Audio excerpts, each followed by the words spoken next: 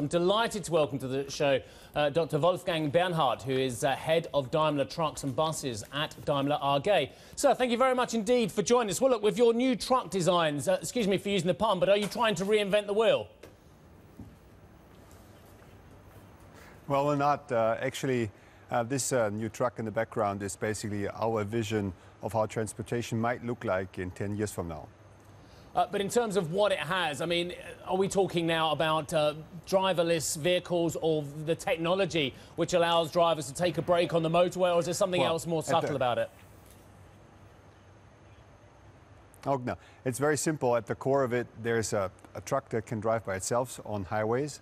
Uh, so the driver just lets go of the steering wheel, uh, the truck takes over, and it gives uh, transportation of the future more safety and less fuel consumption.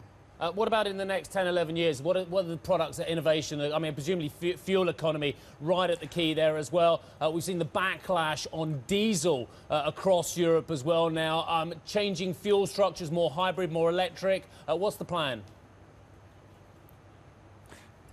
Well, uh, autonomous driving right now is a very big thing, not only in the United States, where companies like Google, who are not part of the industry, are trying to get into autonomous driving. There are some parts in the West, some states in the West already allowing autonomous vehicles on their roads.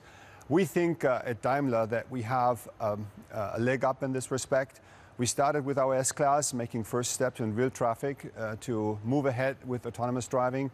Now it's time for the trucks uh, uh, to show what they can. And with this truck, basically, we're showing that not only passenger cars, but also trucks can do that. And they could, can do that very safely uh, by um, uh, being uh, always online, uh, never distracted, uh, not emotional, uh, um, always 100% um, on, online. And, that, and in that respect, we can ma- also make a lot of savings in fuels. So this is a, a, package, a complete package. Right now, what we expect is that uh, policymakers are kicking in and uh, regulations are kicking in to make sure that this truck can be on the roads in 10 years from now. Lots of laws have to be changed in order to enable that.